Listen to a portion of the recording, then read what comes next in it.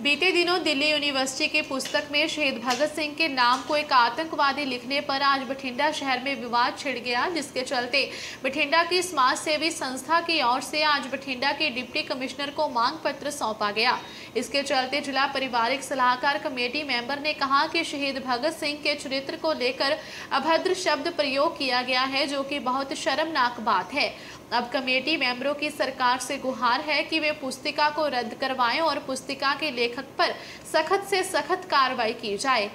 ਹਾਂਜੀ ਸਰ ਅੱਜ ਅਸੀਂ ਇਕੱਠੇ ਹਾਂ ਆਸ਼ ਭਗਤ ਸਿੰਘ ਦੀ ਸੋਚ ਤੇ ਪਹਿਰਾ ਦੇਣ ਵਾਸਤੇ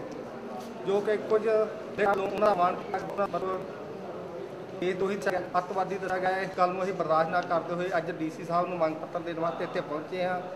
ਜੇ ਸਾਡੀਆਂ ਮੰਗਾਂ ਨਾ ਮੰਨੀਆਂ ਗਿਆ ਤਾਂ ਅਸੀਂ ਜੂਸ ਨੂੰ ਹੋਰ ਲੈ ਕੇ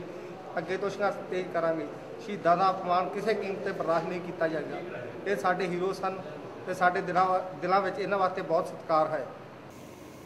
बठिंडा से जार टीवी न्यूज के लिए कैमरामैन दीपू शर्मा के साथ कुणाल बांसल की रिपोर्ट